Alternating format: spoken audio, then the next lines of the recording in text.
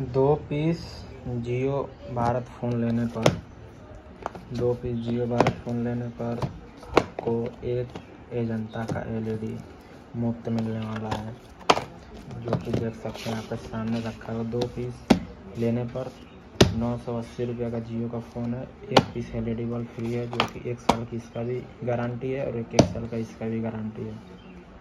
जिसको भी लेना है कमेंट करें। कोरियर का भी ऑप्शन चालू है कोरियर किया जाएगा। वीडियो अच्छा लगे तो लाइक करें चैनल को सब्सक्राइब करें, ऐसे आपको वीडियो मिलता रहेगा ऑफ़र पे ऑफ़र फ्री फ्री